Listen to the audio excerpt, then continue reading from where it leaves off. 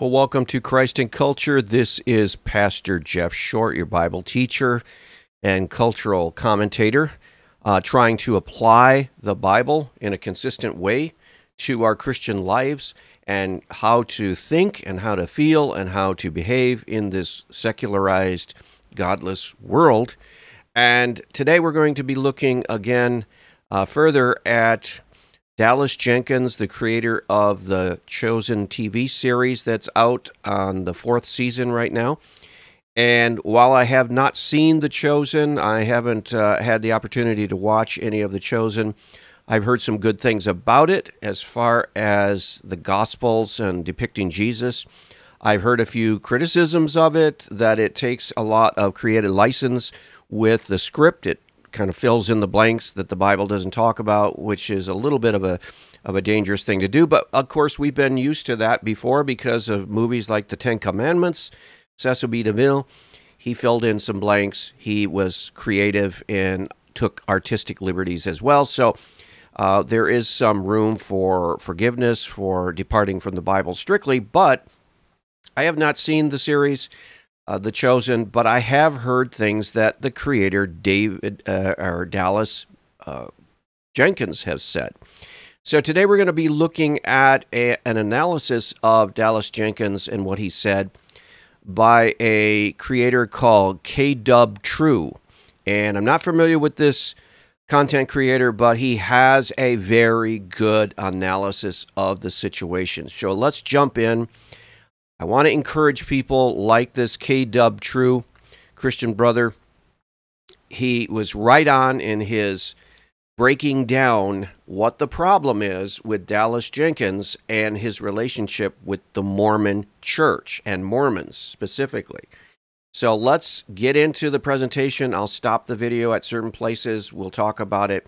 But here is the KW True, his podcast, All things theology, and let's see what see what he has to say.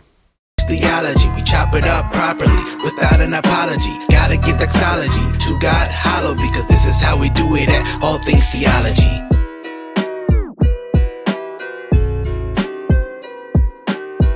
Yo, grace and peace, guys. Welcome back to another episode of All Things Theology, where I'm your host, K Dub. And today, I want to talk about the show, The Chosen.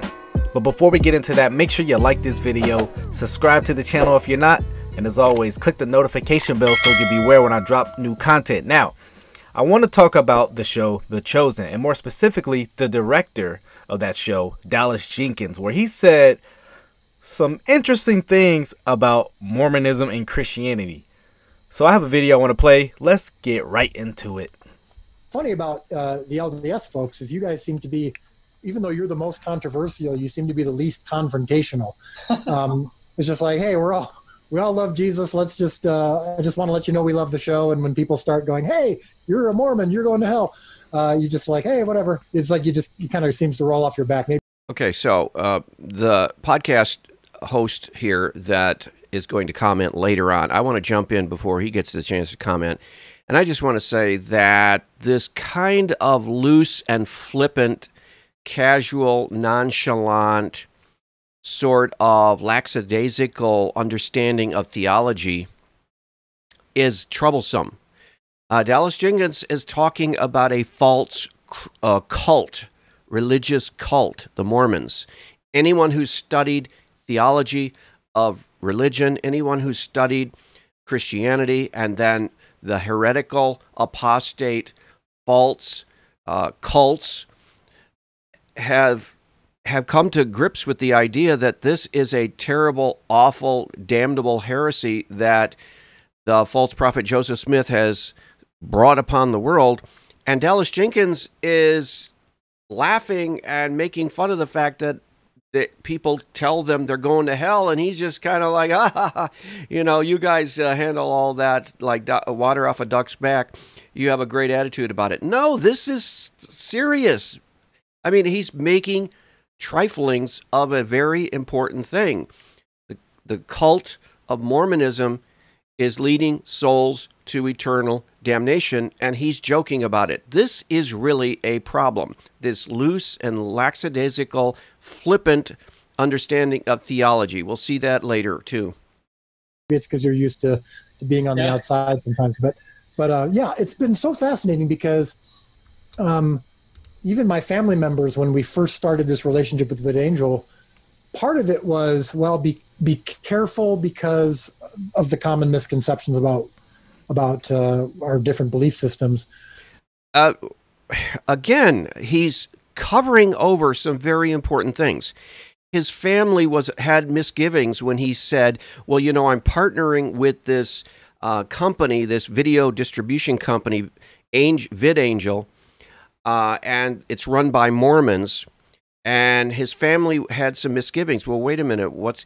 eh, But he explains it this way. He says, "Well, they had misgivings about the common misunderstandings we have about Mormonism." No, no, no, no, no. That is not the issue about the misunderstandings of Mormonism by evangelicals.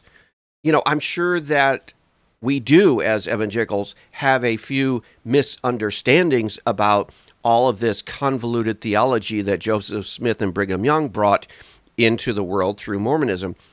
But it's not the things we don't understand or the misinterpretations or misunderstandings that is the problem. It is what they teach clearly. So the things that we are not mistaken on, these are the reasons why people have concerns about some evangelical Christian partnering up with the false religion of Mormonism. The not the not the misunderstandings, but the understandings of the damnable heresies that the Mormons bring out. So again, he's making light of very serious things in truth, Christian doctrine.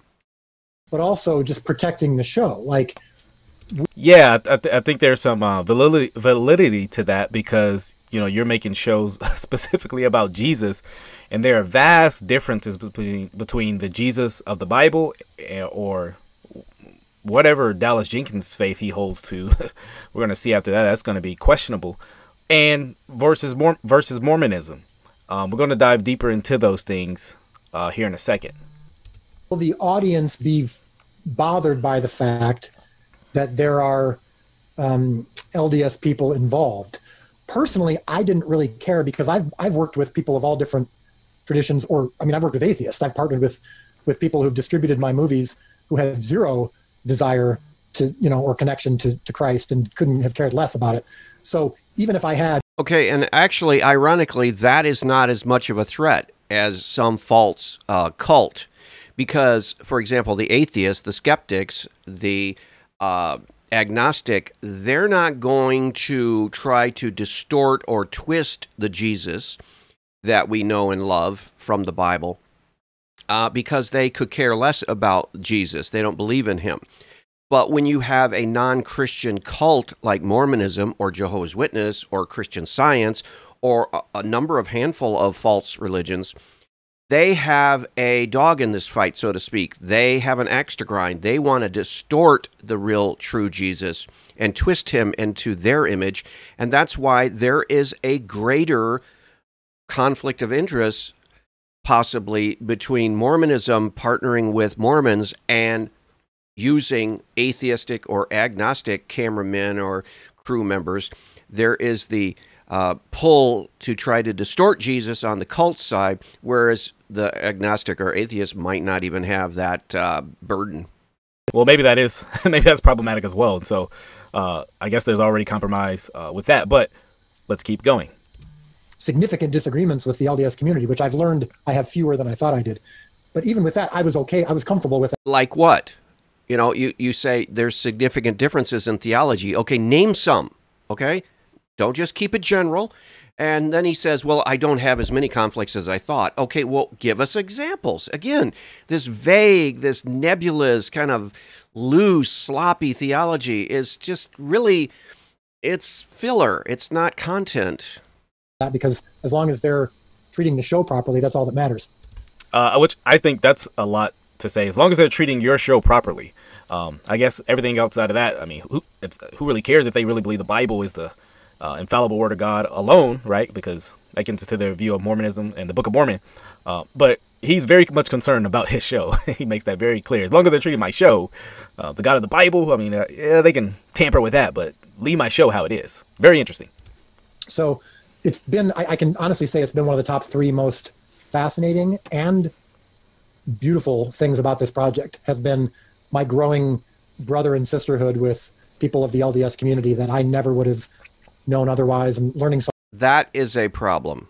When you start using the terms, you're growing brotherhood and sisterhood with Mormons. We use those words, brothers and sisters, in the Christian t- context to signify a spiritual bond, a spiritual brotherhood, a spiritual sisterhood. This is very, very, very important. And what he's doing now is he is confusing or confounding this line of distinction between calling a brother and sister in the Lord something and then referring to members of a false religious cult with a different gospel message brothers and sisters also. So this again this sloppy theology, this careless theology, this more emotional touchy-feely theology uh, and we'll get into this later when he talks about they're his friends and he'll stick up for his friends. Again, he's confusing clear thinking with these emotions that he has with working with people, I guess, on his project. And he's he's confusing the two. There needs to be a clear and clarity here rather than this confusion that comes from his thinking. And uh, so right there, he he uh, explicitly calls uh, Mormons uh, his brothers and sisters in Christ. Here's why I want to uh, get into that. Even though I, I, that's why I'm curious. How much uh, does Dallas Jenkins know about Mormonism? Does he know that um, Joseph Smith claimed that God was not always God? Yes, he said that. In the teachings of the prophet Joseph Smith, Joseph Smith said, We have imagined and supposed that God was God from all eternity. I will refute that idea and take away the veil so that you may see. These are incomprehensible ideas to some, but they are simple. A, and notice what Joseph Smith says. It's the first principle of the gospel to know for a certainty the character of God, and to know that we may converse with him as one man converses with another, and that he was once a man like us. Yea, that God the Father as of us all dwelt on earth, the same as Jesus Christ himself did. And I was sure from the Bible. And his point is that the Father was once God, um, just like we are. Um, flesh and body, flesh and flesh and body, right? Uh, is the claim, and that's what their view of exaltation is. That you know you'll become a god. Matter of fact, that's one of their doctrines. They are polytheistic that there are many gods. Um, you know, they, yes, God was once a man. There's many gods, um, and things like that. And so, would what? So, given that that's their view of God, Dallas Jenkins. I'm curious to know if he knows that, if, if he's familiar with their do, uh, doctrine of God. Do you still consider them brothers, even though they deny um, essential uh, orthodox understanding of God? So let's keep going. About um... right. I mean, these are very, very important theological and spiritual questions. And he just passes right over these. He doesn't address them in any detail. He just kind of covers it over. He just wants you to just don't look over there. And it's just really, really disturbing to see how careless and loose and flippant he is with theology. This is not what you would want to have with someone who is an influence in the Christian world. You want to have clarity, you want to have specificity, you want to be able to distinguish truth from error and good from bad. And you want to make these, especially in the times we live in. We live in a relativistic, uh, loosey goosey, feelings based. Everybody has an opinion. There's no standard of truth. There's no uh, test for truth. And as Christians, we have the Word of God, so we don't have to like swim in this sea of relativism. And Dallas Jenkins is really playing around in that relativistic stew that he's cooking up. About your your faith tradition, um, and realizing, gosh, for all the stuff. Faith tradition again, you don't put Mormons in the same category as, say, the Presbyterian faith tradition or the Lutheran faith tradition or the Methodist tradition. You don't say, well, then there's the Mormon faith tradition. This is relativizing the difference between true Christianity, uh, biblical Christianity, that has differences. Yeah, there are different denominational differences, different branches of Christianity. Uh, but you're bringing in now a false cult religion and saying, well, that's part of that whole different faith tradition just like the Presbyterians and the Baptists and the Lutheran. No, you're confusing things. This is what I, I've noticed with Dallas Jenkins. He's a confused person who seems to care all about his project that he's doing, which I commend him for starting this project, the Jesus uh, movie, The Chosen, and that. But you've got to be clear about what the truth is and not blend everything together. Stuff that maybe we don't see eye to eye on. That all happened. That's Maybe we don't see eye to eye on. Again, minimizing truth distinctions. all based on stuff that happened after Jesus was here. Um, the stories of Jesus we do agree on. Okay, that's a problem. Again, he's making a bad theological distinction. He's saying, well, you know, what we're talking about in the Gospels and depicting in these TV shows, that's all in the Gospels. And all the things that are reflecting upon what Jesus did and what it means, that comes afterwards. But see, you can't do that as a Christian.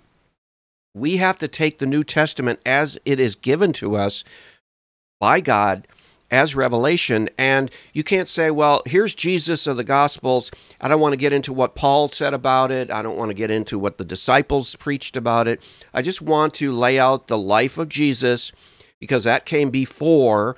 And then all this reflection about what that means and what the significance is, that comes later. No, you can't do that, Dallas Jenkins. You're you're dividing the Bible, the New Testament, into what Jesus did and said, and then uh, trying to say, well, the Mormonism and its interpretation of Jesus comes after what Jesus did, and so does evangelicals come. Their Protestant interpretation comes after what Jesus did, actually, and all of the branches of Christianity, their division comes from the reflection on what Jesus did. We're just going to the the very basics of what Jesus did, and leaving it at that. Well, that's not Christianity.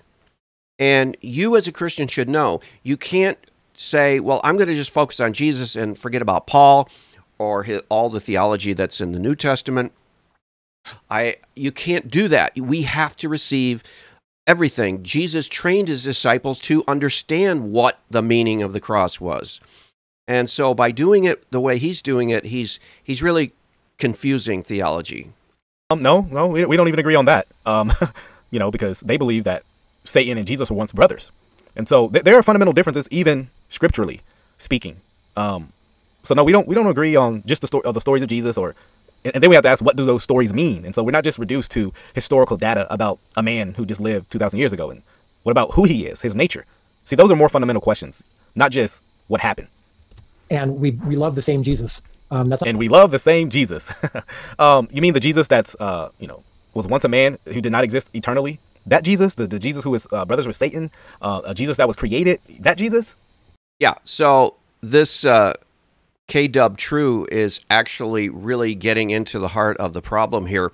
Uh, he's talking about, well, we're just going to take the gospel depiction of Jesus and we're going to say we love that Jesus. And the Mormons, uh, my Mormon friends and evangelical like myself, we all believe in that same Jesus. We love the same Jesus. Well, wait, stop. Mormonism teaches that Jesus actually uh, was the product of conception between sexual relations of a physical God, the Father, and he was the product of the physical God the Father came to earth and had sexual relations with the Virgin Mary. And they produced Jesus. Okay, you mean you love the same Jesus who is the product of an actual physical sexual relationship between God the Father and the Virgin Mary? No, that's not the same Jesus. That is a different Jesus, and it gets worse as you go along. So, um, this whole idea that you know we love the same Jesus. No, you're talking about a different description and depiction of Jesus in Mormonism than you are in Bible believing Christianity. Or the God of the Bible, Jesus of the Bible, which are quite different. You know, so those are the things that have to be asked. something that you often hear. Sometimes it's like, oh, you, uh, they believe in a different Yeah, Jesus than we do. Statement. Yeah. No, it's the same. I mean, I'll, I'll, I'll sink or swim on that statement. And I, and it's kind of. He'll sink or swim. Well, hope you got your floaties because okay, this is a humorous moment. So this podcast, uh, Christian says you'll sink or swim on the un- understanding that you love the same Jesus as the Mormons. He, his his response is, "I hope you got your floaties." In other words, you're you're sinking. you're not going to be swimming because uh, there, there's a problem. and that's funny. That is a great line. I mean, that's called street theology right there. And he comes through with uh, 100% on that one. Um, Dallas Jenkins says, uh, I'll sink or swim on this statement. We love the same Jesus. Okay, he's going out on the limb and saying, I will die on this hill to say, I will not be corrected. I will not uh, change my views. I will not repent. I will not reconsider. I will not listen to my brothers and sisters in Christ that are telling me that I'm I'm talking in uh, too loose and casual concepts and I'm in error actually. He says, No, I've dug in my heels, I stuck to my guns, and I will die on this hill. And he says, I'll sink or swim. And this brother podcast uh, theologian is saying, Well, you better get your floaties on. I guess you better get your flotation device because you're going to be there for a long time because you're not swimming. Uh, you're going to be sinking. To sink with that statement, biblically speaking. As a matter of fact, you, I don't know if floaties are really going to help because it's a you have a boulder tied around you because that statement is there's there's no way to contrast the, the view of Jesus from the Christian perspective and the Mormon perspective. They're they're quite they're quite vast. And I um I don't mind getting criticized at all for the show, and I don't mind being called a blasphemer. I don't like it when my friends. You should. You don't mind being called a blasphemer from godly Christians who are concerned about your understanding is in error? You don't care about that? That is arrogant. That is just plain vain arrogance. You should always be open to correction and you should always be willing to dialogue and discuss when godly Christians, and it's not just one or two, it's very, very many, many Christians are saying, look, brother, you are in error on this point. You are acting like Mormonism is just some casual little deviation, like maybe a Baptist difference from a Presbyterian or a Lutheran from an Episcopalian.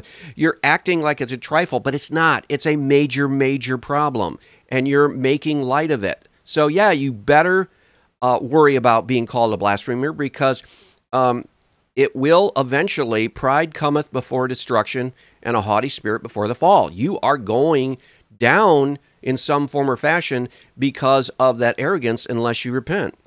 And um, I made it very clear that um, if I go down, if I go down, I'm going down swinging, protecting my friends and my, my brothers and sisters. And so, okay, so here's another problem he's acting like a child, uh, maybe like a third or fourth grader, and saying, "Well, you know, my friends, I have friends in the Mormon Church, and and don't talk that way to my friends, and you're hurting my friends, and so I'm going to defend my friends." Why don't you defend the truth? Why don't you defend the Bible? Why don't you defend the Christian revelation that God gave us, and stop worrying about being so uh, loyal to your non-Christian false cult friend Mormons? I mean, if you love them, you want to correct them, right? So stop clinging to their errors and defending their errors and begin to act like a Christian would act here. I don't deny we have a lot of theological differences, but we, we love the same Jesus. And we love the same Jesus. What, what about the Jesus or the God of Mormonism, which says in Moroni 1032? I, w- I want you guys to listen to this because even the way of salvation is quite different from the, the Christian view than the Mormon view. Check this out. Moroni 1032 says, Yea, come into Christ and be perfected in him, and deny yourself of all ungodliness. And if you shall deny yourselves of all ungodliness, and love God with all your heart, mind, uh, might, strength, then his grace is sufficient for you, that by grace you may be perfected in Christ. And if by the grace of God ye are perfect in Christ, you can in no wise deny the power of God. What is this verse teaching? This verse is pretty much saying you do all the work, and whatever you fail at, grace will pick up and save the rest. It says, right, deny ungodliness, uh, deny yourself, love God with all your heart, mind, strength. Then grace is sufficient. Notice in in Mormonism, grace comes after what you do. But in Christianity, Ephesians 2 8, grace saves you, right? It's by grace you are saved, apart from your works. That's what Ephesians 2 8 gets at. Another verse, 2 Nephi 25, 23. It says, For we labor diligently to write, to persuade to our children, and also our brethren, to believe in Christ and be reconciled to God. For we know that it is by grace that we are saved, after all we can do. so you do what you can, and then God, God's grace will come in and you know give you the additional points that you need to uh, acquire salvation. And so Dallas Jenkins, totally wrong on this issue. Totally wrong. Uh, he said he'll sink or swim on this issue. He'll go down fighting. Well, this is a losing battle he's in because just right there, I demonstrated even on the nature of salvation. Mormonism is out out in the deep end, um, in, in dangerous territory, biblically speaking. And so uh, my hope is that you know, so maybe somehow he'll hear this and reconsider that statement. But uh, from what I remember, I think he has uh, Mormons uh, kind of funding some of the project, and so I understand how that can be a bit of a, um, you know, it can be tough when you're dealing with those kind of situations. They're helping bring forth the show, and so hopefully this was helpful to you. Maybe you never even thought about Mormonism. Maybe you didn't know what you heard here today. So understand that Mormonism does not teach what the Bible teaches. And so, thank you guys for watching. Make sure you subscribe, like the. Okay, so excellent, excellent commentary on uh, Dallas Jenkins. And Dallas Jenkins needs to stop digging in his heels. He needs to stop uh, holding his opinion as if it's something to die for. And he needs to open up his mind and say, you know, why is it that so many of my brothers and sisters in the evangelical Christian world, why is it that they have a problem with me saying that I consider my Mormon friends brothers and sisters in Christ and that we uh, both love the same Jesus. Why do they have a problem with that? Maybe, just maybe, I need to look further into Mormon theology and find out what they really teach about Jesus and why that would upset evangelical Christians. Now, you would hope that by this point in Dallas Jenkins' life, that he would be sufficiently discipled and educated and informed enough to know already that what the Mormons teach and what their gospel of salvation is is erroneous. You would already hope that. But evidently, because of his close uh, working with Mormons in these film projects and on the Chosen TV set, and through the distribution of the video around the world and so on and so forth, through his collaboration with Mormons, he has, it looks like, let down his guard and he's allowed relationships and friendships and camaraderie get in the way of his clear thinking about these issues. And that has caused him to take a more open ended and I would say relativistic approach to false teachings.